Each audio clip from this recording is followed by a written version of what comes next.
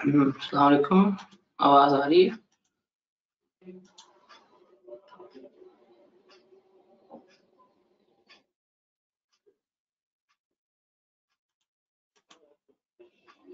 एक मिनट यार, मैं लाइव स्ट्रीम ऑन कर लूँ, फिर मैं देखता हूँ।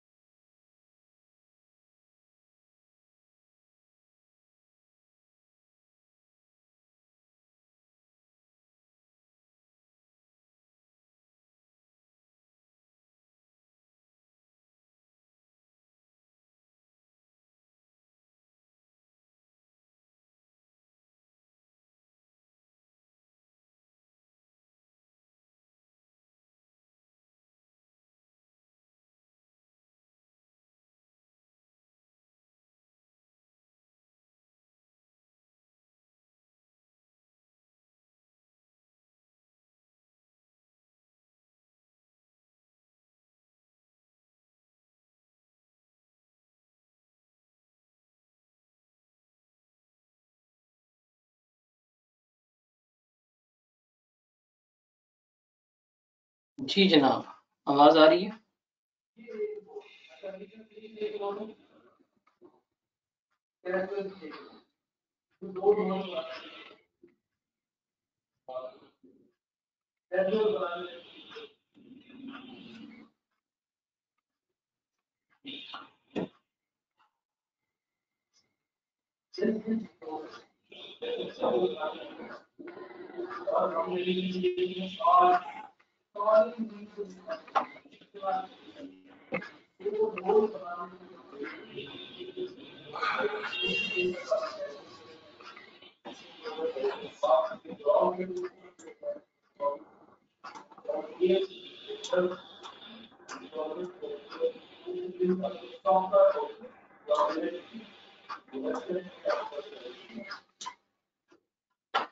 जी जनाब लास्ट लेक्चर से सवाल वगैरह हैं तो बताएँ।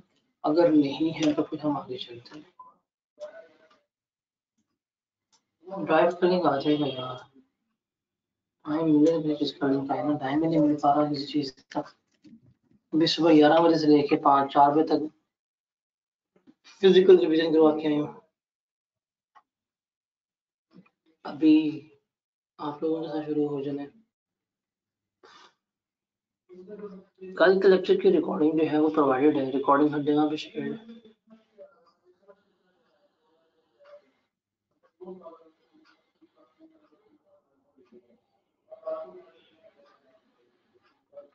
जी जनाब, और कोई सवाल है तो बताएँ।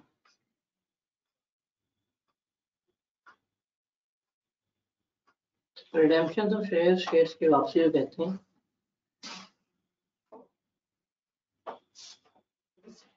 वो आपकी रिडेम्पशन शेयर्स के ला रही होती है। अब शेयर्स वापस ले रहे होते हैं, वो आपकी रिडेम्पशन ऑफ़ शेयर्स है। सिर्फ़ इसका पार्ट नहीं है।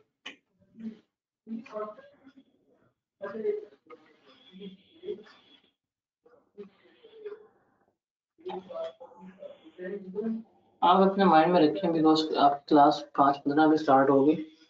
इससे पहले वाली क्लास होती है, वो अक्सर मेरे पाँच छः मिनट ले जाते हैं ऊपर। तो उसके बाद मुझे लाइव स्ट्रीमिंग सेट करने में टाइम लगना होता है। सो डेट्स वाई अभी क्लास जो है वो पाँच से पाँच बजे हो रही ठीक है?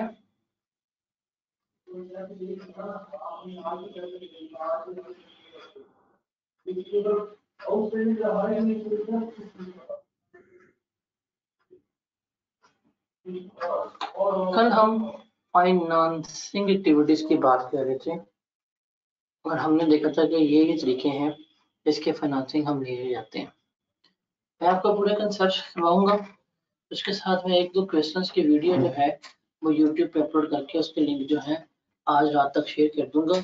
वो तीन क्वेश्चंस आप लोगों ने, दो या तीन क्वेश्चंस होंगे, वो आप लोगों ने हर हालत में देखने हैं। अगर आप वो सवाल वगैरह देख लेंगे तो फिर क्या होगा, आपका कंप्लीट हो जाएगा। और आपको मस्ट टू डू क्वेश्चंस दिए हुए हैं उन मस्ट डू क्वेश्चंस को आप लोगों ने लाजमी करना है एट एवरी कॉस्ट ठीक है? कल हम फाइनेंशियल एक्टिविटीज़ की बात कर रहे थे कि बिज़नेस में पैसा कहाँ से आता है, वह कहाँ से इनफ्लो आता है, उसको हम टेकअप कर रहे थे, उसको हम लेके चल रहे थे। जस्ट गिव मी सेकंड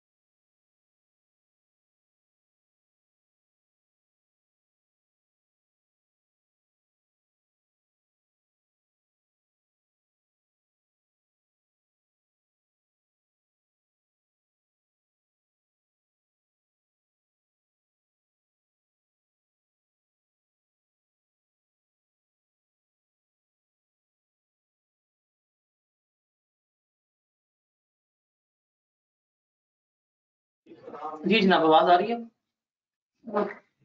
मैं जरा कैमरे का एंगल ठीक कर रहा था बिकॉज़ मैंने अपने क्वेश्चन बॉक्स स्क्रीन पहले इस तरफ़ रखी होती थी। तो आप लोगों को सही व्यू नहीं मिलता था। तो मैंने सामने रख लिया। तो मैं सामने क्वेश्चन पढ़ रहा हूँ तो आपको मेरा फ्रंट व्यू नज़र आ रहा होगा। आवाज़ क्लियर आ रही है? हाँ यार टेस्ट मैंने अभी तक शेयर नहीं किए इनशाला मैं आज टेस्ट शेयर करना कर दूँगा। बिकॉज़ जब कल, जैसे ही मैंने कल क्लास खत्म की थी ना एक्स की, उसके बाद अचानक ही मुझे 102 फीवर कल करीब फील हो रहा था। और I was unable to do anything तो फिर मैंने कहा, यार, मैं कुछ नहीं कर रहा। तो मैंने फिर कुछ भी बच्चों को शेयर नहीं किया तो ठीक है? तो कल मैं फिर ये नहीं कर पाया था। But right now I am little well इंशाल्लाह आज मैं आपको तमाम टेस्ट वगैरह जो है, वो शेयर कर दूँगा। जो जो आपके हैं ड्राइव का लिंक भी आ जाएगा। डॉक्यूमेंट्स भी जो है, आपके आ जाएँगे। तो आप उसके लिए फ़िक्र ना करें। और कोई सवाल है तो मुझे बताएँ। अगर नहीं है तो फिर हम चलते हैं आगे। कल हमने कैश फ्लो की डिस्कशन कर रहे थे और कैश फ्लो की डिस्कशन करते करते हमें लगा था पता कि हमारे पास क्या होते हैं, हमारे पास कैश एंड कैश इक्वलेंट होते हैं और कैश एंड कैश इक्वलेंट हमने बात कर ली थी फॉर्मेट में कैसे हमें उसे प्लेस करना होता है। उसके बाद फिर हमने क्या देखा था? उसके बाद हमने देखा था कि हमारे पास पैसा कहाँ से आता है? हमारे पास जो है वो कैश आ रहा होता है, हमारी अपना सबसे पहले इक्विटी फाइनेंसिंग से आ सकता है और डेट फाइनेंसिंग से हमारा पैसा जो है वो आ रहा होता है, ये हमने बात कर ली थी। ऐसा ही हुआ था?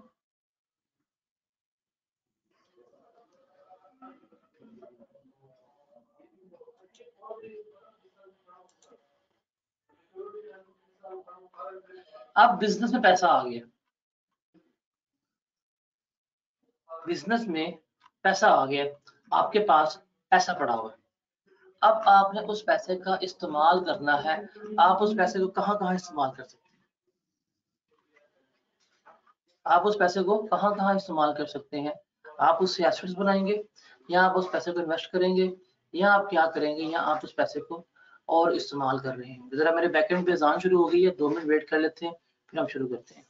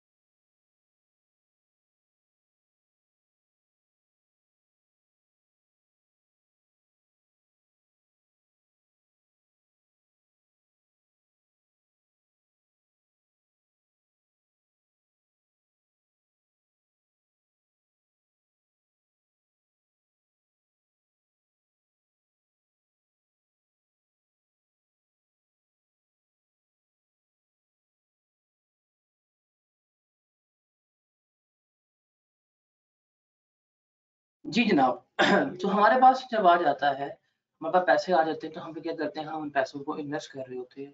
हमने उन पैसों को लगाना है, या तो हम उसके एसेट्स लेंगे, या हम क्या कर रहे होंगे, हम उन पैसों की इन्वेस्टमेंट कर रहे होंगे। एक मिनट कैमरा सीधा कर लो।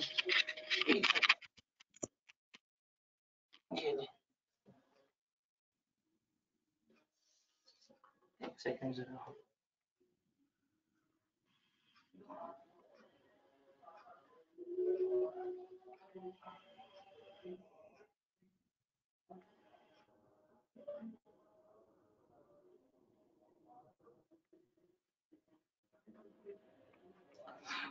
तो जब हम इसकी बात कर रहे होते हैं तो पैसा आ गया।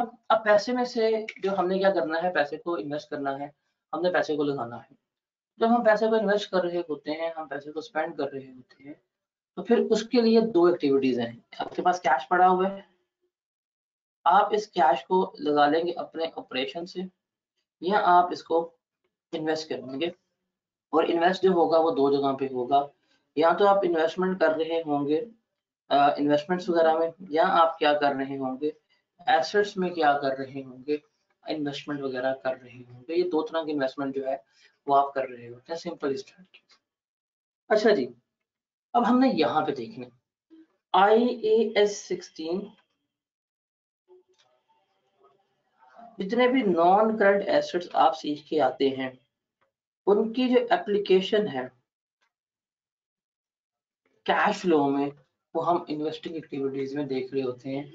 इन्वेस्टिंग एक्टिविटीज़ कैसी हैं, उनको हम लेकर चल रहे होते हैं। अब दो तरह की इन्वेस्टमेंट करेंगे, या तो हम नॉन करंट एसेट ले लेंगे, या हम क्या कर लेंगे? अदर इन्वेस्टमेंट जो है, वो कर रहे होंगे। जब हम अदर इन्वेस्टमेंट करते हैं तो इन्वेस्टमेंट का अकाउंट बनाएँगे। आपके पास ओपनिंग इन्वेस्टमेंट का बड़ा होगा क्लोजिंग इन्वेस्टमेंट बड़ा होगा। करिए ये है इन्वेस्टमेंट प्रॉपर्टी जैसा प्रॉपर्टी वो है जो आपने बाय की है आई ए एस फोर्टी के मुताबिक। अब आई एस फोर्टी के मुताबिक आप इन्वेस्टमेंट प्रॉपर्टी जो है अगर वो खरीदते हैं तो उस इन्वेस्टमेंट प्रॉपर्टी का हमने क्या लेना होगा? हमने ट्रीटमेंट लेना होगा। अब वो ट्रीटमेंट हम कैसे लेंगे वो हमें पता है। अब इन्वेस्टमेंट प्रॉपर्टी का हम अकाउंट बना के बैठे हैं।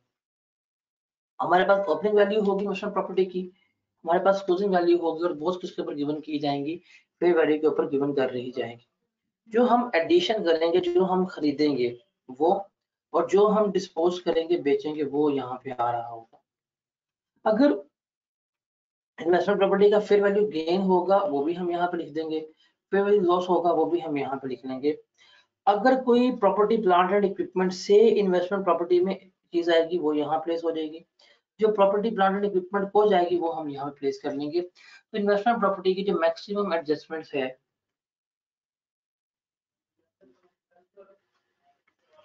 वो हम कहाँ पे कर रहे होंगे? वो हम यहाँ पे कर रहे होंगे, उनको हम यहाँ पे एडजस्ट वगैरह कर रहे होते हैं।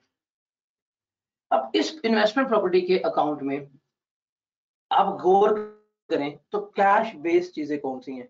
किन चीज़ों से कैश आपका इंक्रीज हो रहा होगा? अगर आप इन्वेस्टमेंट प्रॉपर्टी डिस्पोज करेंगे, आप इन्वेस्टमेंट प्रॉपर्टी बेचेंगे, जब आपकी इन्वेस्टमेंट प्रॉपर्टी बिक जाएगी सोल्ड हो जाएगी, उससे जो आपको इनफ्लो आ रहा होगा, उससे जो आपको बेनिफिट आ रहा होगा, वो आपका कैश फ्लो कहलाएगा। जब आप इन्वेस्टमेंट प्रॉपर्टी बेचेंगे, जब आप इन्वेस्टमेंट प्रॉपर्टी सेल कर रहे होंगे, उससे जो आपको पैसे हासिल हो रहे होंगे सॉरी जब आप इन्वेस्टमेंट प्रॉपर्टी खरीदेंगे तो आप क्या एंट्री पास करेंगे? आप एंट्री पास कर रहे होंगे कि जी आपका इन्वेस्टमेंट प्रॉपर्टी डेबिट और कैश जो है वो हो रहा होगा क्रेडिट इससे पैसे आपके जा रहे होंगे तो ये क्या कहला रहा होगा? इनफ्लो कहला रहा होगा फॉर इन्वेस्टमेंट प्रॉपर्टीज़ तो ये इन्वेस्टमेंट प्रॉपर्टी का हम अकाउंट बनाएँगे, उस इन्वेस्टमेंट प्रॉपर्टी अकाउंट में ये एडजस्टमेंट जो है वो हम क्या कर रहे होंगे? लेकर चल रहे होंगे। मगरिब की नमाज़ पढ़नी है, मैं पूरे पाँच बजे, पाँच मिनट का टाइम दूँगा, तीन फ़र्ज़ आप पढ़ लीजिएगा, तीन फ़र्ज़ मैं पढ़ लूँगा, नवाफिल वगैरह बाद में अदा कर लेंगे, पाँच तीन फ़र्ज़ हो जाते हैं, दुआ दुआ बाद में मांग लेंगे, ठीक है? अच्छा ये तो हमें लग गया पता। उसके बाद एसेट्स पीपी सीख के आए हुए और जब भी आप कैश फ्लो का सवाल कर रहे होते हैं, जब भी आप कैश फ्लो के सवाल में जा रहे होते हैं जो सबसे मुश्किल चीज़ आपको लगती है ना, वो है डिप्रिसिएशन की कैलकुलेट डिप्रिसिएशन की कैलकुलेशन जो है, ये आपको सबसे मुश्किल चीज़ जो है, वो लग रही होती है। अब उस डेप्रिसिएशन की कैलकुलेशन में इतना ऐसा तो कोई नहीं है। अगर आपको ये एसेट्स के अकाउंट बनाने आते हैं, अगर आपको एसेट्स के अकाउंट बनाने आते हैं, फिर आपके लिए कोई किसी किस्म की प्रॉब्लम वगैरह नहीं होगी। आपको पता है कि एनसीए जब हम कैलकुलेट कर रहे होते हैं नॉन फाइनेंशियल को लेकर चल रहे होते हैं तो उसके अकाउंट दो तरह से बन सकते हैं। या तो कॉस्ट पे बना रहे हो, या आप बना रहे हो रिवोल्यूशन के ऊपर, या आप बना रहे होंगे अपना नेट बुक वैल्यू मेथड के ऊपर। ये तीन तरह से आपके अकाउंट बना रहे होते हैं। अगर प्रॉपर्टी प्लांट इक्विपमेंट का कॉस्ट के ऊपर अकाउंट बना रहे होते हैं तो उस पर होता है आपके पास ओपनिंग एसेट्स गिवन होते हैं डिस्पोजल जो किया है वो और यहाँ पे आ जाएगा कैरिड ऑन और अगर एडिशन की जाती है तो उसमें कैश बेस और नॉन कैश बेस एडिशन जो है वो हमने यहाँ पे लेकर चलनी होती है। रिमेंबर रिमेंबर डिस्पोजल जो होगा वो तो जाएगा यहाँ पे कॉस्ट के ऊपर। यहाँ कहाँ जाएगा? कॉस्ट के ऊपर डिस्पोजल जाएगा, हम उसको रिकॉर्ड कर रहे होंगे।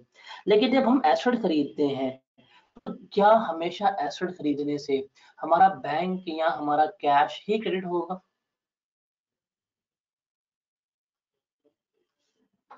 एसेट खरीदने से क्या हमारा बैंक या हमारा हमेशा कैश ही क्रेडिट होगा? क्या कभी हम उधार पे एसेट ले सकते हैं? द आंसर इज़ यस हम उधार पे भी एसेट जो है, वो हम ले सकते हैं। अगर हम उधार पे एसेट ले रहे हैं, हम ऑन क्रेडिट चल रहे हैं तो क्या उधार पे एसेट लेने की वजह से एसेट जो मेरा इंक्रीज हो गया। एसेट इंक्रीज हो गया। लेकिन क्या कैश का कोई आउटफ्लो हुआ होगा? नहीं हुआ होगा। तो रिमेंबर रिमेंबर रिमेंबर इस चीज़ को नोट डाउन कर लो, इस चीज़ लिख लो। कि जब आप एसेट खरीद रहे होते हैं तो एसेट के अकाउंट में जो कैश बेस्ड एडिशन है,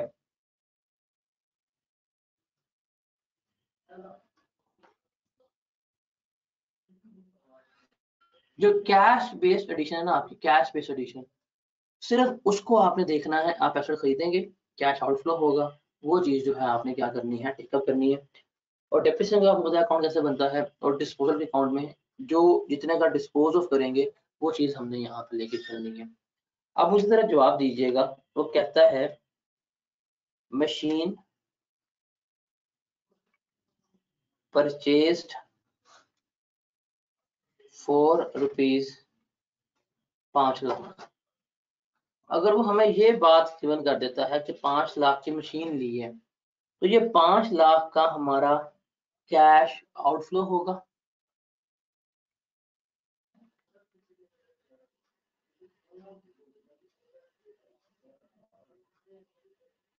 कि पाँच लाख का हमारा क्या होगा? कैश आउटफ्लो हो रहा होगा, ठीक है। हम कह देंगे जी पाँच लाख हमारा कैश आउटफ्लो वो कहते हैं जी machine is purchase for rupees five lakh but two hundred is still payable इसका मतलब आपने पाँच लाख की मशीन ली है तीन लाख पे कर दिया, दो लाख आपने पे करना है। अभी भी क्या आपका कैश फ्लो पाँच लाख ही होगा?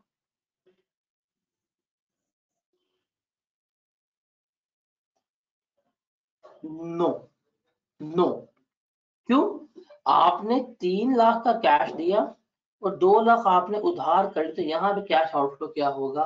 तीन लाख ही कंसिडर हो रहा होगा। उसके अलावा आप एसेट बेचते हैं सेल करते हैं एक लाख का। डब्ल्यू डी बी थी पचास हज़ार। गेन कितना आएगा? पचास हज़ार। जब डिस्पोजल होता है, इस डिस्पोजल में कैश फ्लो लाख रुपया है कि पचास हज़ार है।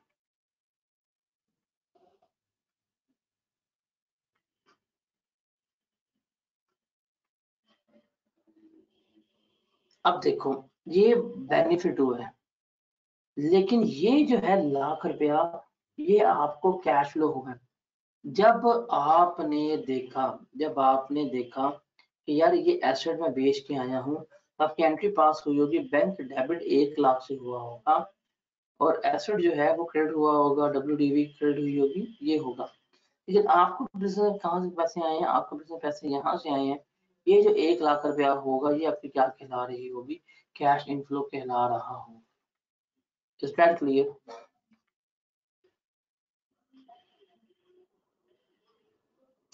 ठीक है? पाँच मिनट है, नमाज़ पढ़ लेते हैं, जल्दी जल्दी, फिर हम कंटिन्यू करते हैं। जल्दी से पाँच मिनट में। आगे पीपी का काउंट करके, आगे इसको हमने अटेंड करना है हालात में।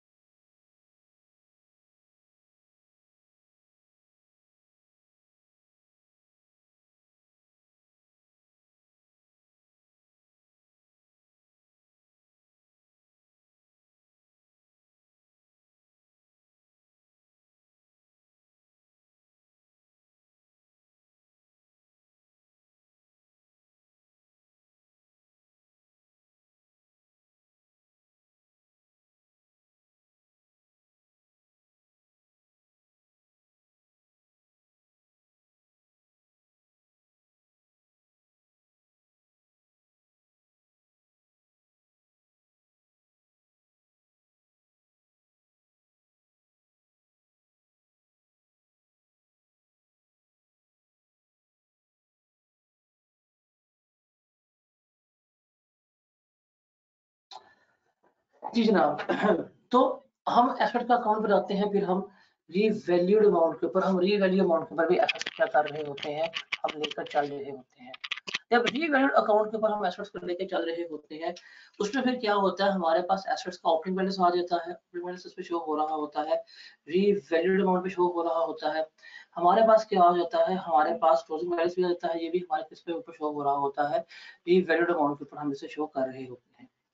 फिर अगर हमने कोई डिस्पोजल किया एसेट का, वो यहाँ पे चार्ज कर देंगे। अगर रीवैल्यूएशन होती है तो रीवैल्यूएशन होने से भी एसेट की वैल्यू पे इंक्रीज आ रहा होता है बट वो जो इंक्रीज होता है, वो रीवैल्यूएशन सरप्लस की वजह से आया है। खुद बताओ आई एस सिक्सटीन में जब हम रीवैल्यूएशन सरप्लस लेके जाते हैं, उससे कोई कैश बेस इंक्रीज आता है किसी भी किस्म का? तो रीवैल्यूएशन सरप्लस भी है, एक नॉन कैश बेस आइटम है, इसमें कोई इंक्रीज नहीं हो रहा होता। एडिशन सिर्फ़ वही आएगी जो हम परचेज करेंगे, जिसकी हम एंट्री पास करेंगे। एसेट अकाउंट जो है, जिससे डेबिट होगा और बैंक जो है, हमारे क्रेडिट हो रहा होगा, यही हमारे पास कैश आउटफ्लो होगा और हम क्या कर रहे होंगे, हम इसको ही रिकॉर्ड कर रहे होंगे। तो ये लिख लो, कहीं पे लिख लो। Asset purchase cash outflow asset dispose cash inflow लिख ले asset purchase cash outflow asset sale cash inflow ये चीज़ आपने लिख लेनी है, ये चीज़ आपने याद कर लेनी है। गॉट इट क्लियर है ये?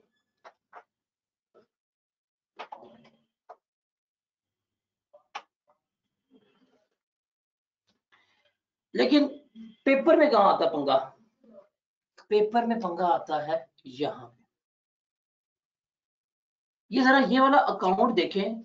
आप लोग नज़र आ रहा अकाउंट स्क्रीन पे? नेट बुक वैल्यू के ऊपर एसेट का अकाउंट कैसे नज़र आ रहा है?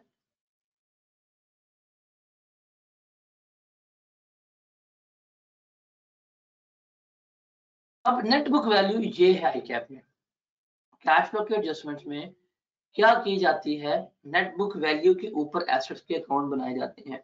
बुक वैल्यू का मतलब क्या होता है कि जो भी एसेट की कॉस्ट है, उसमें से हमने एक्यूमुलेटेड डेप्रिसिएशन जो है वो लेस करवाई होती है। और डब्ल्यू के ऊपर रिटर्न डाउन वैल्यू मेथड ऊपर हम क्या कर रहे होते हैं? हम इनको लेकर चल रहे होते हैं। ओके?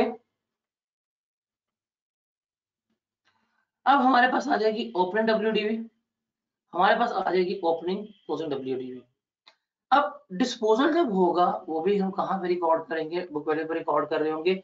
अब यहाँ पे जितने भी मैक्सिमम एडजस्टमेंट है, वो मैंने यहाँ पे इनकॉर्पोरेट की है। देखो, अगर आपका कोई एसेट्स इन प्रोसेस था। वर्क इन प्रोसेस जो है वो अगर आपका कंप्लीट हो गया है, अगर आपका वर्क इन प्रोसेस पूरा हो गया है तो वर्क इन प्रोसेस पूरा होने से आपका कैपिटल वर्किंग प्रोसेस क्रेडिट होगा और वो एसेट आपका उठ के कहाँ आ जाएगा? नॉन करंट एसेट्स में आ जाएगा। इसकी वजह से एसेट्स में इजाफा होगा। क्या वर्किंग प्रोसेस कंप्लीट होने के बाद जो एसेट्स की वैल्यू में इजाफा हो रहा है, इससे कोई कैश के ऊपर फ़र्क पड़ेगा?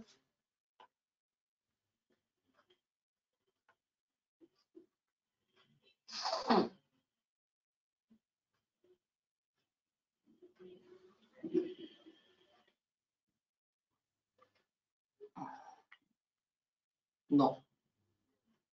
Similarly, सिमिलरली बताइएगा जरा। आप इन्वेस्टमेंट प्रॉपर्टी पे पहले प्रॉपर्टी इस्तेमाल कर रहे थे। अब आपने फैसला किया कि मैं इन्वेस्टमेंट प्रॉपर्टी से इसको मूव करके कहा चला जाता हूँ मैं आई एस सिक्सटीन में ले जाता हूँ। अब इन्वेस्टमेंट प्रॉपर्टी से मूव करके अगर आप आई ए एस सिक्सटीन में आ गए हैं कोई कैश का इनफ्लो हुआ आउटफ्लो हुआ इस ट्रांजेक्शन की वजह से? ज़ीरो तो जनाब, ये वो एडजस्टमेंट है जो पेपर में अभी तक एग्जामिनर ने नहीं पूछी। ये वो एडजस्टमेंट है जो अभी तक एग्जामिनर ने पेपर में बिल्कुल भी नहीं पूछी, वो क्या कर सकता है, पूछ सकता है। कैश फ्लो में इन्वेस्टमेंट प्रॉपर्टी की मूवमेंट जो है एग्जामिनर ने नहीं पूछी हुई। पूछ सकता है। वो कह देगा जी आपके पास इन्वेस्टमेंट प्रॉपर्टी जिस जिस, ये थी इन्वेस्टमेंट प्रॉपर्टी इन्वेस्टमेंट प्रॉपर्टी यहाँ से उठा के आप आई सिक्सटीन में ले गए हैं। इससे आपका आई सिक्सटीन में इजाफा हो रहा है। रिमेंबर ये ट्रांसफ़र है। ट्रांसफ़र में कोई कैश का इनफ्लो या आउटफ्लो नहीं होगा। सिमिलरली आप यहाँ से उठा के इन्वेस्टमेंट प्रॉपर्टी को प्रॉपर्टी चार्ज कर दें तो वो भी आउटफ्लो कंसिडर नहीं होगा। तो इसका मतलब रिवैल्यूएशन भी नॉन कैश बेस्ड है। ट्रांसफर्स जितने भी हैं, ये भी क्या है? नॉन कैश बेस्ड चीज़ें हैं। कैश बेस्ड चीज़ क्या होगी? सिर्फ़ और सिर्फ़ ये एडिशन होगी जो हमने एसेट खरीदा होगा। ये सिर्फ़ क्या होगी? ये एडिशन जो है वो कैश बेस्ड होगी, जिसका हमने क्या किया होगा? एसेट अपना खरीदा होगा। ये चीज़ आपने याद रखनी है। इज़ दैट क्लियर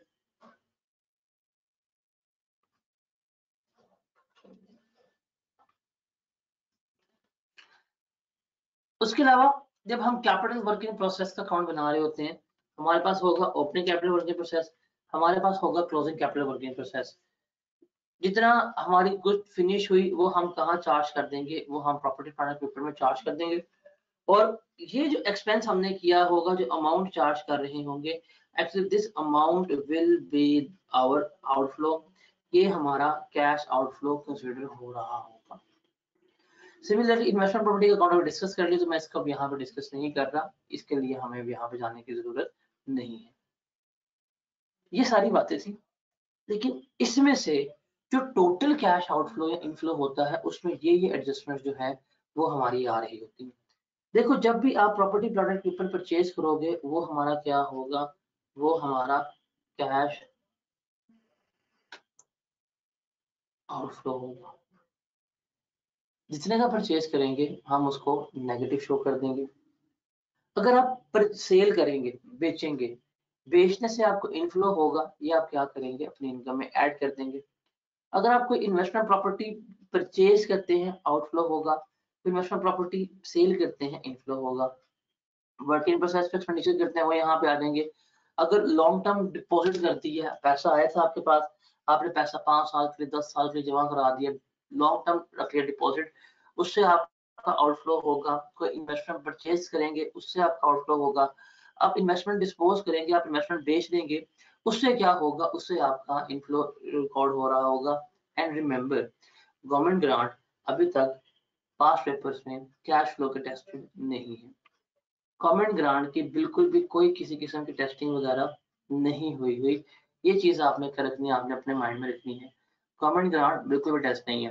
अगर आपको गवर्नमेंट ग्रांट थोड़ी सी याद हो, जब हमें गवर्नमेंट ग्रांट मिल रही होती है, जब हम गवर्नमेंट ग्रांट रिसीव कर रहे होते हैं तो हम ग्रांट रिकॉर्ड नहीं करते हम उसे क्या रिकॉर्ड करते हैं? अपने डेफर्ड इनकम के तौर के ऊपर रिकॉर्ड करते हैं। हम उसको अपने डेफर्ड इनकम की तरह क्या कर रहे होते हैं? वो लेकर चल रहे होते हैं। ऐसे ही जैसे जैसे हमारे परफॉर्मेंसेस ऑब्लिगेशंस कंप्लीट होते जाते हैं, हम उस तरह क्या करते जाते हैं? उसको प्रॉफिट एंड लॉस अकाउंट में ऐड करते जाते हैं। ऐसा ही होता है।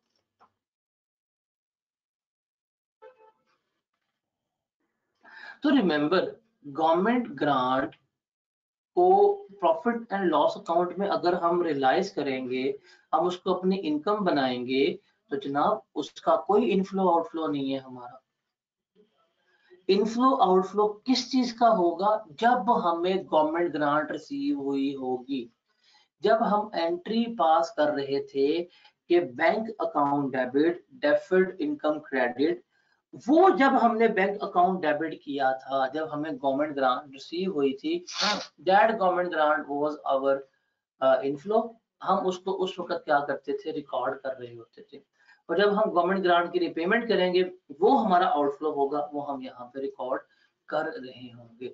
तो गवर्नमेंट ग्रांट की आज तक एडजस्टमेंट वगैरह पेपर में नहीं गिवन बट आपको चीज़ याद रखनी है कि जब हमें गवर्नमेंट ग्रांट रिसीव होती है, जब हमें गवर्नमेंट ग्रांट मिल रही होती है उस वक्त इनफ्लो रिकॉर्ड होता है, जब हमें गवर्नमेंट ग्रांट रिसीव नहीं, जब हम गवर्नमेंट ग्रांट की रिपेमेंट करते हैं, उस वक्त मेरा क्या होता है, वो आउटफ्लो रिकॉर्ड हो रहा होता है। ये चीज़ जो है, ये क्या रखनी है, आपने अपने माइंड में रखनी है। गॉट इट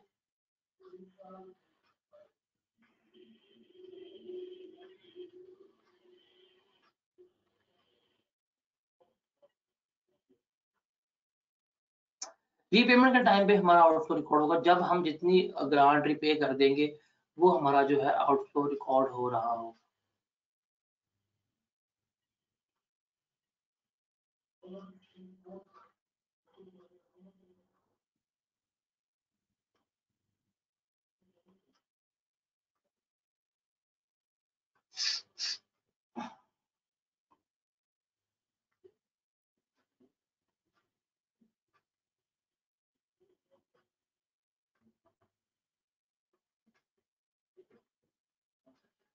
वो गवर्नमेंट ग्रांट में एंट्री बताऊँगा, लेकिन अभी जो आपने याद रखना है, वो ये है, जब रिपेमेंट होगी, जब अमाउंट वापस की जाएगी, उस वक्त आउटफ्लो है।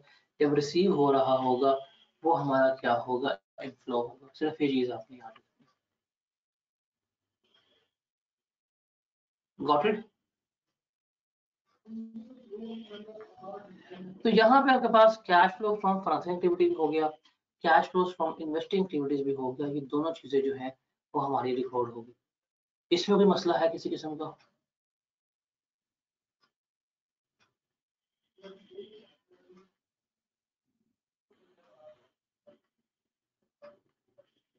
ट्रांसफ़र वाला पॉइंट यहाँ पे नहीं आ सकता बिकॉज़ ट्रांसफ़र जो है वो सारे नॉन कैश बेस्ड होते हैं।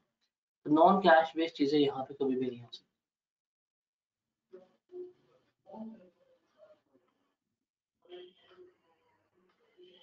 अब हम चलते हैं cash flows from operating activity से।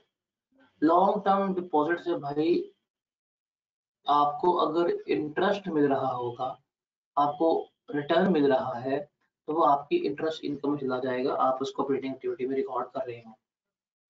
ठीक है?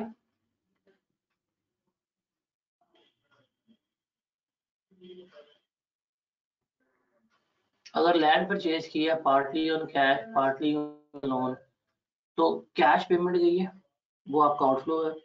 लोन लिया है, वो क्या है हमारा? एबिलिटी तो लोन लेने से इनफ्लो भी हमें नहीं हुआ, हमने लोन लेके वहाँ पेमेंट कर दी तो लोन तो लाइबिलिटी उसका तो इसमें ऐसा स्टेटमेंट नहीं आना होगा। इंश्योरेंस क्लेम जितना मिलेगा, जितना कैश इनफ्लो होगा, वो आपका हो जाएगा।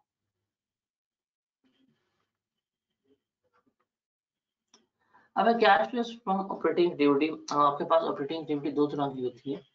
ऑपरेटिंग एक्टिविटी को कैलकुलेट करने के दो मेथड हैं, दो तरीके से हम अपनी ऑपरेटिंग एक्टिविटीज़ को लेके चल रहे होते हैं। एक है डायरेक्ट मेथड और दूसरा है हमारा indirect method direct method से अपनी ऑपरेटिंग एक्टिविटी कैलकुलेट कर रहे होते हैं या इनडायरेक्ट मेथड से कैलकुलेट कर रहे होते हैं। रिमेंबर डायरेक्ट मेथड जो है, ज़्यादा आसान है। आठ नंबर का इंडिपेंडेंट क्वेश्चन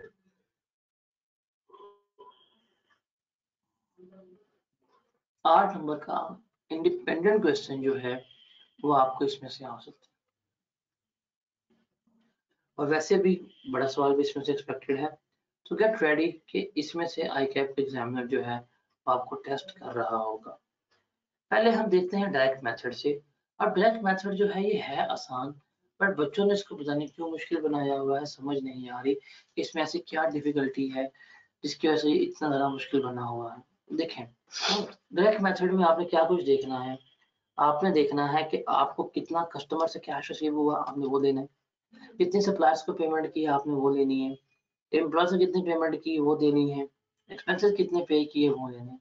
आपको अगर चारों चीज़ें पता चल जाए तो आपके पास क्या आ जाएँगे? कैश जनरेटेड फ्रॉम जो ऑपरेशन हैं वो आ जाएँगे। इतना मेरा ऑपरेशन से क्या हुआ है? कैश जनरेट हो रहा है। उसमें से आप फिर लेस करेंगे इंटरेस्ट पे डिविडेंड पे टैक्स पे तो के पास क्या आ जाएँगे? Cash flow from operating activity आ जाएगी।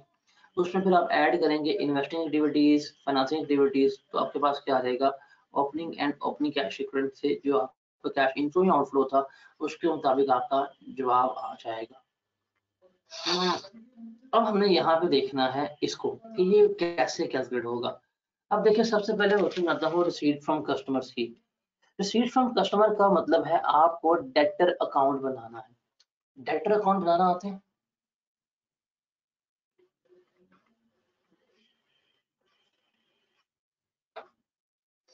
डेटर अकाउंट जो है, क्या वो आपको बनाना आता है?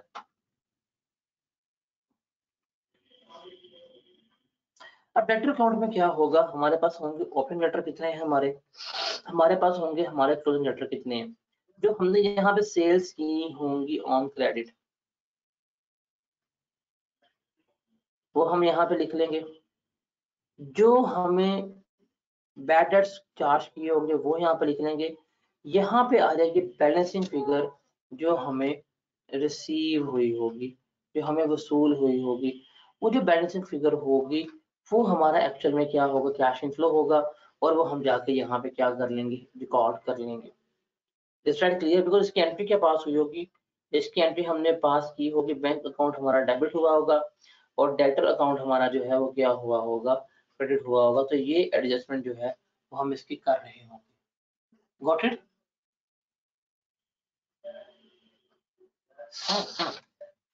गॉट इट तो आपको डायरेक्ट मेथड मुश्किल लगता है।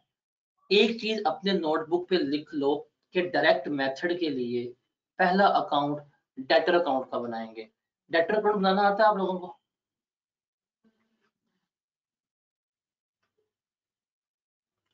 अगर डेटर अकाउंट बनाना आता है तो कैश निकाल लेंगे। इतना कैश है, हमारा आ रहा है। गॉट इट उसके बाद है पेमेंट टू सप्लायर कि आपने कितनी पेमेंट्स की होंगी सप्लायर को, उसके बारे में हमने क्या करनी है, उसके बारे में हमने बात करनी है। अब जब आप पेमेंट टू सप्लायर का अकाउंट बनाएँगे ना, बनाना आपने अकाउंट किसका है? You have to prepare the account of creditor जो क्रेडिटर है, आपने वो अकाउंट बनाना है। उसमें होगा जी ओपनिंग बैलेंस इतना था आपका क्रेडिटर का, वो लिख लेंगे। क्लोजिंग बैलेंस यहाँ पे नहीं आना था। ये आना था आपका इधर। यहाँ पे आपका आ रहेगा कि इस क्रेडिटर का क्लोजिंग बैलेंस कितना था। ओपनिंग पेबल ये था क्लोजिंग पेबल हमारा ये था। हम क्या कर लेंगे? हम इसको नोट डाउन कर लेंगे, हम इसको लिख लेंगे। हमने लिख लिया। फिर हमने यहाँ पे इसके साथ ही क्या करना है? हमने पैरेलली एक और अकाउंट बना देना है। और वो पैरेलल अकाउंट कौन सा होगा? वो कॉस्ट ऑफ़ सेल्स का अकाउंट होगा, वो इन्वेंट्री का अकाउंट होगा, वो हमने इसके साथ ही बना देना है। अब उसमें क्या होगा कि हमारा ओपनिंग इन्वेंट्री मतलब ओपनिंग स्टॉक कितना है, वो हमें पता होगा। हमारा क्लोजिंग स्टॉक पेपर में गिवन होगा, वो हम लिखेंगे। कितनी मेरी कॉस्ट ऑफ़ सेल्स थी, मैं वो क्या करूँगा, यहाँ पे चार्ज कर रहा हूँ कि जी, ये मेरी कॉस्ट ऑफ़ सेल्स पचास की, साठ की, सत्तर की, नब्बे की, वो लिखूँगा। तो मेरे पास यहाँ पे बैलेंसिंग फिगर आ जाएँगे परचेजेस की, कि मैंने इस साल इतनी परचेजेस की थी।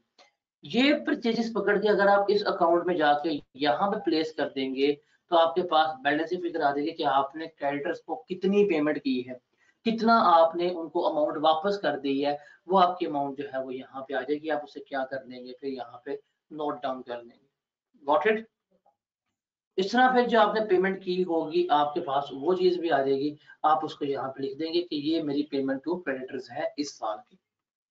तो ये दो अकाउंट जो है, ये तो वाजिब है अब क्रेडिटर अकाउंट बनाना आता है आपको, पता है कि opening payable closing payable purchases for the year और आपके पास बैलेंस फिगर आ जाएगी। बिकॉज़ जब बैलेंसिंग फिगर आई है this is your cash paid इसको आपने क्या करना है? इसको आपने लेके चलना है, इसको आपने अपने इनकम का पार्ट बनाना है। गॉट इट अब दो अकाउंट मजीद बनेंगे। सैलरीज का अकाउंट जो है, हम क्या कर रहे होते हैं? अलग बना रहे होते हैं। बिकॉज़ सैलरीज में पेबल भी होती हैं सैलरीज में रिसीवेबल भी होती हैं। क्या कभी आपने एडवांस सैलरीज दी है? एडवांस सर्विस देते हैं ना आप लोग? अब जब आपने किसी बंदे को एडवांस सैलरी दी हुई है तो वो आपके रिसीवेबल है। आपने किसी बंदे को अभी सैलरी पे करनी है तो वो क्या है? वो आपकी सैलरी जो है, वो पेएबल आ रही होगी। तो सैलरीज का आपने अकाउंट बनाना है, जो आपकी ओपनिंग पेएबल होगी, आप वो लिख लेंगे। जो क्लोजिंग पेएबल होगी, आप वो भी यहाँ पे लिख लेंगे। जो ओपनिंग एडवांस पेपर में गिवन होगी कि इतने लाख की सैलरीज आपने एडवांस में जमा कराई हुई आप वो लिख लेंगे। क्लोजिंग एडवांस जो है, वो भी आप क्या कर लेंगे, यहाँ पे नोट डाउन कर लेंगे। तो ये आ जाएगी। फिर आपको प्रॉफिट एंड लॉस अकाउंट से फिगर गिवन चल जाएगी। पता कि आपकी salaries and wages for the year कितनी बन रही थी, आप वो भी यहाँ पे नोट डाउन कर लेंगे। आप ये वैल्यूज़ फिल करेंगे तो आपके पास कैश पेड किया हुआ है, उसकी क्या आ जाएगी बैलेंसिंग फिगर आ जाएगी। और ये जो बैलेंसिंग फिगर होगी, ये क्या करेंगे? यहाँ पे जाके हम अपने एक्सपेंस के तौर पर लिख लेंगे कि इतनी मैंने पेमेंट जो है वो किसको की है? एम्प्लॉयज़ को की है। ये क्लियर है? ये क्लियर है? अगर आप यहाँ पे, आप ब्लेंडर मारते हैं, आप यहाँ पे क्या कर रहे होते हैं? आप यहाँ पे एडवांस का अलग अकाउंट बना रहे होते हैं, आप पेएबल का जो है वो अलग अकाउंट बना रहे होते हैं। अगर ये दो आप अलग अकाउंट बना रहे हैं, फिर आप फंस जाएँगे। कंबाइंड अकाउंट बनाए कंबाइंड अकाउंट में पेएबल भी लिखें और एडवांस भी लिखें। दोनों को क्लोज करें, आपके पास जो रिलेवेंट कैश फ्लो है, वो आ रहेगा जी। इतना मेरा cash flow for the year बन रहा है। गॉट इट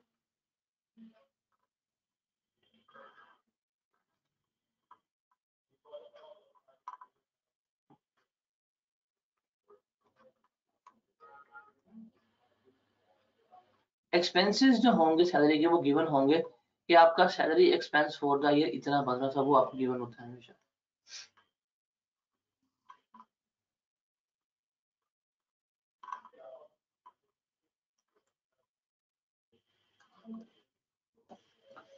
अब हमारे पास आ जाएगा एंड पे ऑपरेटिंग एक्सपेंसेस ऑपरेटिंग एक्सपेंसेस सबसे पहले क्या करने हैं आपने? आपको पता होगा कि ओपनिंग में एक्सपेंसेस जितने थे क्लोजिंग कितने हैं। ओपनिंग एडवांस कितने पे किए हुए हैं। क्लोजिंग एडवांस कितने पे किए हैं, आपको पता होगा। आपने देखना है कि operating expenses for the year मेरे है कितने थे? एंड रिमेंबर ये हम एक्सपेंसेस कौन से ले रहे होंगे? ये हम एक्सपेंसेस जो हैं, वो कैश बेस्ड ले रहे होंगे। जो कैश बेस्ड एक्सपेंसेस थे, हम उन्हें क्या कर रहे होंगे? लेकर चल रहे होंगे। जितने आपके ऑपरेटिंग एक्सपेंसेस से एडमिन एक्सपेंसेस से डिस्ट्रीब्यूशन एक्सपेंसेस हैं, जितने भी एक्सपेंसेस हैं, आप सारे जमा पकड़ लेंगे। इसमें जितने भी नॉन कैश बेस्ड एक्सपेंसेस हैं, वो लेस करवा देंगे। अब इन एक्सपेंसेस में इम्पेयरमेंट भी चार्ज होगी। पेमेंट यहाँ पे कभी भी नहीं आएगी। इन एक्सपेंसेस में लॉस ऑन डिस्पोजल चार्ज होगा, वो भी यहाँ पे कभी नहीं आएगा। इन एक्सपेंसेस में fair value loss on investment property शामिल होगा, वो भी यहाँ पे कभी नहीं आएगा। इन एक्सपेंसेस में बैड डेट्स प्रोविज़न इस तरह की तमाम चीज़ें लेस हुई होंगी। वो हम सारे क्या करेंगे? वो हम इनमें से लेस करवा देंगे। जब टोटल एक्सपेंसेस में से ये एक्सपेंसेस लेस करवाए तो मेरे पास खाली वो एक्सपेंसेस बचेंगे जो कैश बेस्ड हैं। जब ये कैश बेस्ड एक्सपेंसेस आ गए, हम इसको यहाँ पे लिखेंगे वैल्यू प्लेस करेंगे। तो जितने मेरे expenses for the year actually paid हुए हैं, जो मैंने कैश में रकम पे की है, वो हमारी यहाँ पे आ जाएगी और वो हम क्या कर देंगे? यहाँ पर लिख देंगे, यहाँ पर नोट डाउन कर देंगे। तो रिमेंबर चार अकाउंट बनने हैं। कितने अकाउंट बनने हैं? सिर्फ़ और सिर्फ़ चार अकाउंट बनने हैं। डेटर्स का अकाउंट बनना है क्रेडिटर्स का अकाउंट बनना है।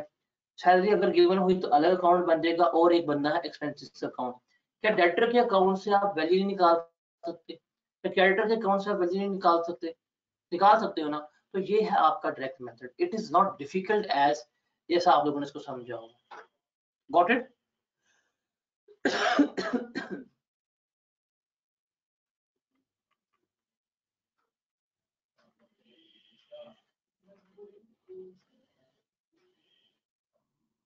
अब उसके बाद है इनडायरेक्ट मेथड अब पेपर में वो आपको सवाल बता देगा कि आपने इसको डायरेक्ट मेथड से सॉल्व करना है, या पेपर में बता देगा आपने इसको इनडायरेक्ट मेथड से सॉल्व करना है पेपर में आपको बताया जाएगा।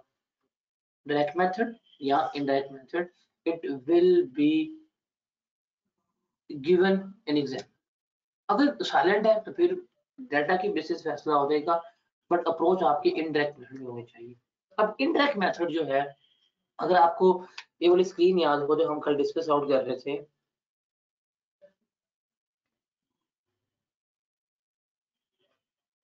ये चीज़ थी ना, इसने बड़ा क्लियरली बताया हुआ था कि कौन कौन सी चीज़ जो है, किस किस एक्टिविटी में जा रही थी। रिज़र्व फाइनेंसिंग में थे नॉन करंट एसेट इन्वेस्टिंग में थे, बाकी करंट एसेट्स करंट लाइबिलिटीज और पूरी की पूरी जो प्रॉफिट एंड लॉस अकाउंट है वो किसको पकड़ रही थी? वो हमारी पकड़ रही थी ऑपरेटिंग एक्टिविटीज़ को। ऐसे ही है। तो अब हम क्या करने लगे स्टार्ट अब हम ऑपरेटिंग एक्टिविटीज़ की बात कर रहे हैं, लेकिन अब इन ऑपरेटिंग एक्टिविटीज़ में हम बात कर रहे हैं इनडायरेक्ट मेथड क्योंकि इनडायरेक्ट मेथड से हम किस तरह लेके चल रहे होते हैं। तो इनडायरेक्ट मेथड को समझने के लिए ना ये प्रॉफिट एंड लॉस अकाउंट आपको समझना चाहिए। आपके पास सबसे पहले क्या आ जाएगा? आपके पास सबसे पहले statement of profit loss account आ जाएगी इतना मेरा प्रॉफिट है, इतना मैंने पैसे कमाए हैं, ये क्या होगा आपको पता होगा। ये मेरा प्रॉफिट है, इतने मैंने पैसे कमाए हैं। Profit before tax profit after tax सब कुछ क्या होगा, आपको गिवन होगा। आप कहेंगे, ठीक है जी, ओके, मसला ही कोई नहीं है। अब कैसे निकाला आपने प्रॉपर्टी आपके पास रेवेन्यू थी, इन रेवेन्यू से आपने कॉस्ट ऑफ़ सेल्स लेस की जीपी लेस किया एडमिनिस्ट्रेटिव एक्सपेंसेस लेस किए तो आपके पास आगे profit from operation profit from operation के बाद आपने एक्सपेंसेस लेस किए अदर इनकम लेस की, आपके पास नेट प्रॉफिट बिफोर टैक्स आ गया तो उसमें से टैक्स लेस करेंगे तो क्या आ जाएगा आपका? प्रॉफिट आफ्टर टैक्स आ जाएगा। क्या आ गया? अब आपको पता है कि ये प्रॉफिट बिफोर टैक्स में हम पहुँचने से पहले हम कितने एक्सपेंडिचर जो है वो लेस करके आ चुके हैं। ये ये तमाम एक्सपेंडिचर से जो हम लेस करवा के आ चुके हैं। अब हमने इनमें एडजस्टमेंट करनी है। तो मेरे पास क्या आएगा? मेरे पास बात शुरू होगी हमेशा प्रॉफिट बिफोर टैक्स से। प्रॉफिट बिफोर टैक्स से हम अपनी वर्किंग जो है, वो शुरू कर रहे होंगे। जो हमारा प्रॉफिट बिफोर टैक्स होगा, उससे हमारी वर्किंग जो है, वो शुरू हो रही होगी। समटाइम्स क्या करता है पेपर में नॉर्मली आपको प्रॉफिट आफ्टर टैक्स भी गिवन होता है पेपर में आपको प्रॉफिट बिफोर टैक्स जो है, वो भी गिवन होता है। प्रॉफिट आफ्टर टैक्स भी गिवन होगा प्रॉफिट बिफोर टैक्स जो है, वो भी आपको प्रोवाइडेड होगा, वो भी आपको गिवन होगा। अगर ना गिवन हो तो फिर क्या करेंगे? आप profit before tax find out करेंगे। उसने सिर्फ़ आपको प्रॉफिट आफ्टर टैक्स की अमाउंट गिवन कर दी। आपने करना है? आपने प्रॉफिट बिफोर टैक्स लेके जाना है। अब प्रॉफिट बिफोर टैक्स आपके पास होता है। इसमें से आप लेस करते हैं tax expense for the year आपके पास क्या आता है? आपके पास प्रॉफिट आफ्टर टैक्स आता है। अगर वो सिर्फ़ आपको ये गिवन कर दे और आपने सवाल स्टार्ट करने सवाल स्टार्ट करने के लिए आपको प्रॉफिट बिफोर टैक्स चाहिए। तो आप इसको वर्क बैक करेंगे। और आप क्या कर रहे होंगे? इसको लेकर चल रहे होंगे। तो इसको वर्क बैक करने के लिए आप टैक्स की अमाउंट निकालेंगे। ओपनिंग पेएबल होगा टैक्स कितना बनता है? क्लोजिंग पेएबल कितना है? वो बना हो, पता होगा आपको। जितना आपने टैक्स पे किया है, वो लिखेंगे। तो tax expense for the year जो है, वो क्या होगी आपकी बैलेंसिंग फिगर ही वो आ जाएगी। तो ये बैलेंसिंग फिगर आ जाएगी तो आप इस एक्सपेंस को यहाँ पे लेके जाएँ। तो आपके पास प्रॉफिट बिफोर टैक्स जो है, वो कैलकुलेट हो जाएगा। तो ये एक मुश्किल एडजस्टमेंट है, वो प्रॉफिट की इस तरह से पूछ रहा होता है। तो आपके पास प्रॉफिट बिफोर टैक्स आ गया। अब इस प्रॉफिट बिफोर टैक्स में आपने क्या करनी है, तमाम किसी किस्म की एडजस्टमेंट्स जो है, वो करनी है। मतलब आप एडजस्टमेंट्स करेंगे डेप्रिसिएशन की इम्पेयरमेंट की मोडाइजेशन की। अब डेप्रिसिएशन क्या कैश बेस्ड एक्सपेंडिचर है हमारा? डेप्रिसिएशन क्या हमारा कैश बेस्ड एक्सपेंडिचर है?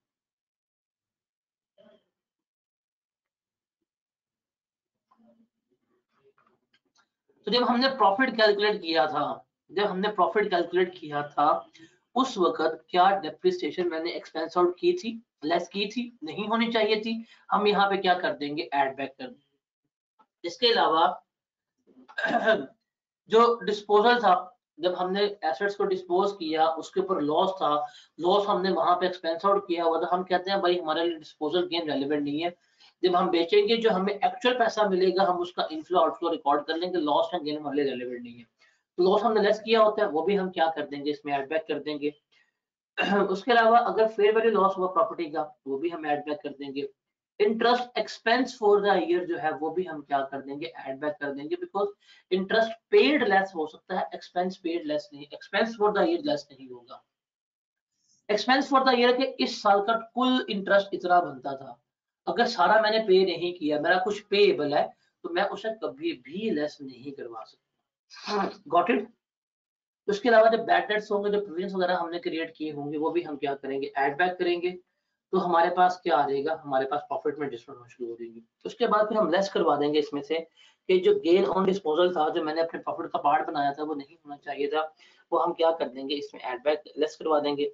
जो फेवरेबल गेन होगा वो भी हम लेस करवा देंगे। जो गवर्नमेंट ग्रांट की हमने इनकम रिकॉर्ड की होती है हर साल के ऊपर वो इनकम रिलाइज तो नहीं हुई। जब गवर्नमेंट ग्रांट फ़र्स्ट टाइम मिली थी, हमने वहाँ पर रिकॉर्ड कर ली थी। जो इनकम रिकॉर्ड की है वो इनकम नहीं है, कोई कैश इन्फ्लो नहीं हुआ, वो भी हम यहाँ पे लेस करवा देंगे। डिविडेंड इनकम जो है वो भी हम यहाँ पे लेस करवा देंगे। हमारे पास क्या जाएगा operating profit before changes in working capital जाएगा कि वर्किंग कैपिटल चेंज होने से पहले आपका इतना ये बनता था। हम इसे क्या कर लेंगे? नोट डाउन कर लेंगे। तो यहाँ पे आ जाएगा आपका operating profit before changes in working capital working capital change होने से पहले हमारा ऑपरेटिंग प्रॉफिट कितना बनता है, वो हमें क्या हो जाएगा? गिवन हो जाएगा। उसके बाद हम देखेंगे इन्वेंट्रीज को। आपने ये चीज़ याद रखनी है। ये है आपकी लाइबिलिटीज ये है आपके एसेट्स जो करंट लाइबिलिटी है आपके पास ओपनिंग करंट लाइबिलिटी होगी, आपके पास क्लोजिंग करंट लाइबिलिटी होगी। ओपनिंग करंट लाइबिलिटी और क्लोजिंग से कंपेयर करेंगे, अगर इंक्रीज हुआ ओपनिंग सौ की थी क्लोजिंग दो सौ की है। अगर ये सौ का इंक्रीज हुआ तो ये ऐड हो जाएगा। अगर डिक्रीज होगा तो हम लेस करवा लेंगे। जितनी भी हमारे पास लाइबिलिटीज होंगी ओपनिंग क्लोजिंग का डिफरेंस लेंगे इंक्रीज हुआ ऐड करेंगे डिक्रीज हुआ, हम क्या कर रहे होंगे? लेस करवा रहे होंगे। और एसेट्स के केस में अगर इंक्रीज होगा तो हम लेस करवाएँगे। और डिक्रीज होगा तो हम यहाँ पे लेस करवा ऐड कर रहे होंगे। ये चीज़ जो है आपने याद रखनी है। और यहाँ पे जब एसेट्स होंगे नॉर्मली हमारे करंट एसेट्स आ रहे हैं एक्सेप्ट कौन से? और ये इन लाइबिलिटीज में और इन एसेट्स में कुछ एसेट्स और लाइबिलिटीज ऐसे हैं जो नहीं आएँगे। मतलब जितने भी हमारे कैश एंड कैश इक्वलेंट है cash and hand cash and bank short term investment वो यहाँ पे नहीं आएँगी। इंटरेस्ट पेड टैक्स पेड के जो एक्सपेंसेस है, वो यहाँ पे नहीं आ रहे होंगे। जब ये आप लेस करवा देंगे तो आपके पास क्या आ जाएगा कैश जनरेटेड फ्रॉम ऑपरेशन के आपके ऑपरेशन से कितना कैश जनरेट हुआ है, वो हमारा यहाँ पर आ जाएगा। उसके बाद एक्चुअल में कितना इंटरेस्ट पे किया, वो यहाँ पे लेस करवा देंगे। डिविडेंड कितना पे किया, वो लेस करवा देंगे। टैक्स पे कितना किया है, वो लेस करवा देंगे तो हमारे पास क्या आ जाएगा? Cash flows from operating activity आ जाएगा। रिमेंबर ये इंटरेस्ट पेड और डिविडेंड पेड जो है ना, ये आप फाइनेंसिंग एक्टिविटी में भी क्या कर सकते हैं? आप इसको लेके जा सकते हैं, आप इसको वहाँ पे लेस करवा सकते हैं। But the is that suggested thing is that कि आप इसको कहाँ पे लेके जाएँ? आप इसको ऑपरेटिंग एक्टिविटी लिख दें बिकॉज़ तमाम जो सिनेरियोज हैं, जितने पास पेपर में, उसमें मेजोरिटी में उसने ऑपरेटिंग एक्टिविटी में लेस करवाया है तो आप इसको यहाँ पर लेस करवा सकते हैं। अगर आप इसको फाइनेंसिंग एक्टिविटी में लेस करवा देंगे, फिर ये ऑपरेटिंग एक्टिविटी में लेस नहीं होगी। ये चीज़ जो है क्या रखनी है आपने अपने माइंड में रखनी है। This was all about indirect method of operating activity तो हम यहाँ से क्या करेंगे? इनडायरेक्ट मेथड से अपना ऑपरेटिंग एक्टिविटी कैश फ्लो निकालेंगे। आपके पास कैश फ्लो आ जाएगा आपकी इन्वेस्टिंग एक्टिविटी से आपके पास आ जाएगा कैश फ्लो आपकी फाइनेंसिंग एक्टिविटी से। तो जो टोटल कैश इनफ्लो और आउटफ्लो है वो आपका यहाँ से कैलकुलेट हो जाएगा। सो so, ये है आपका कैश फ्लो का कंप्लीट डिस्कशन जो आपने करनी होती है।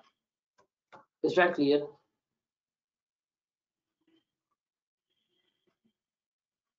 यहाँ तक कोई सवाल है तो मुझे बताएँ।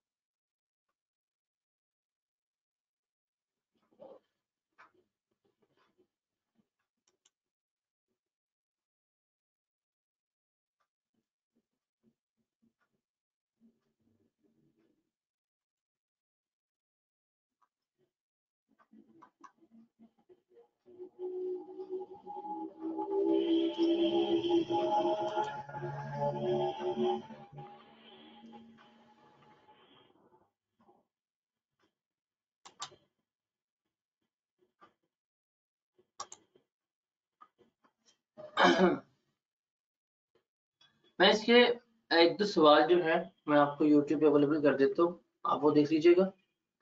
थ्योरेटिकल क्वेश्चन आ सकते हैं इसमें से। वो आप देख सकते हैं। कैश फ्लो का टेस्ट आज शेयर कर दो तो कल शेयर करो, मुझे बता दें।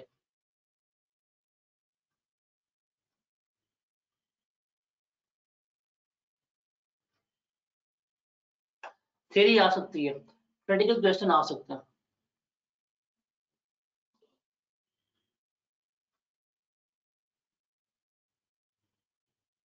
फिर कल की क्लास के बाद टेस्ट शेयर होगा।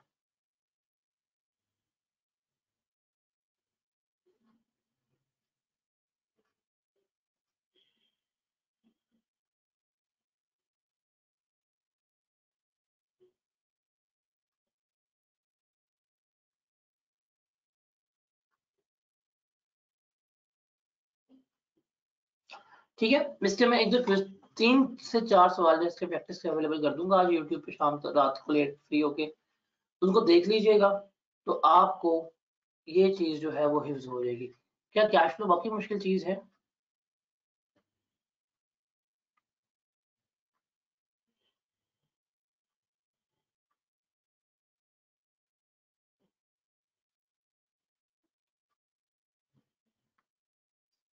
क्या कैश फ्लो मुश्किल लगता है?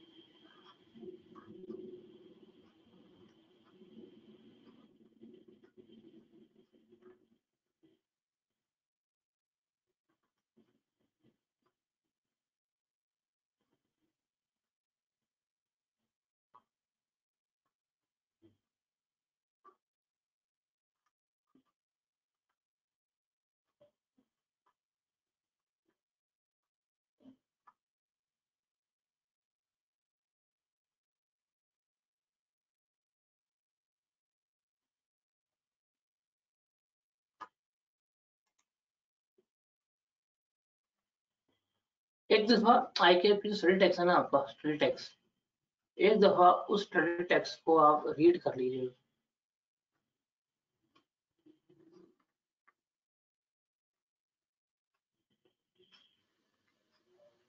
रीड क्योंकि बातें सारी बता दी हैं। आप एक दफ़ा अपने रीड आउट कर लेंगे ना, अब काफ़ी चीज़ें जो हैं वो याद हो हैं कि यार ये ये इस इस तरह से। थ्रेटिकल आ सकता है। थ्रेटिकल आ सकता है। मंडे किसने कहा भाई, कल सेशन है, क्या हो गया? सवा पाँच शुरू होगा।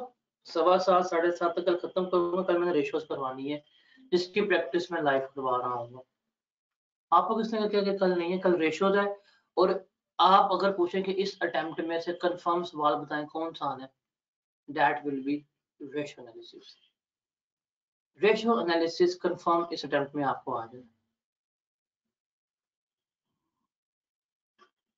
तो कल हम रेशियोज पे ऊपर जान मारने लगे हैं और आई थिंक बड़ा सवाल आएगा मोर देन अराउंड चौदह से पंद्रह नंबर का सवाल जो है आपको एक्सपेक्टेड है।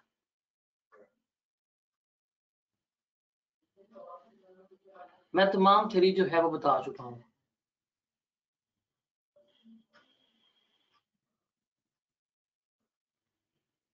कल मिलते हैं विद रेशियो इसके मैं आज फ्री होकर रात को उसके प्रैक्टिस अपलोड करता हूँ। वो देख लीजिएगा। फिर कल की क्लास के बाद मैं आपसे कैश फ्लो का टेस्ट जो है वो शेयर कर दूँगा, वो आप ले लीजिएगा। ठीक है? ईपीएस कंफर्म आएगा।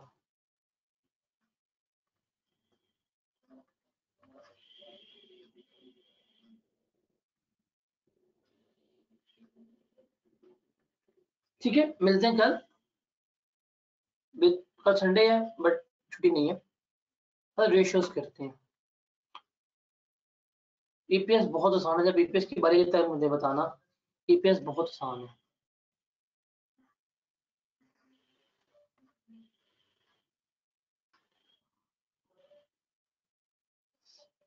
हाफिज़।